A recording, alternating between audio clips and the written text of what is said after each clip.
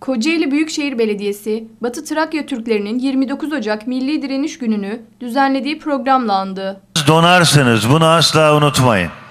Uyursanız ölürsünüz. Bu coğrafya çok sayıda millete mezar olmuş bir coğrafya. Batı Trakya Türkleri Dayanışma Derneği birlikteliğinde hazırlanan anma etkinliğine Kocaeli Büyükşehir Belediye Başkanı Tahir Büyükakın, Batı Trakya Türkleri Dayanışma Derneği Genel Başkanı Hasan Küçük, İskeçe Türk Birliği Başkanı Ozan Ahmetoğlu ve çok sayıda davetli katıldı.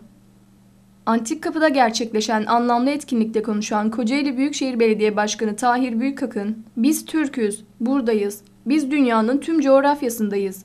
Biz varken zulüm olmayacak." dedi. Bu dava nesilden nesile aktarılması gereken bir dava. Biz bu topraklar üzerinde dünyanın nöbetini tutuyoruz. Bunu da kimse aklından çıkarmamalı.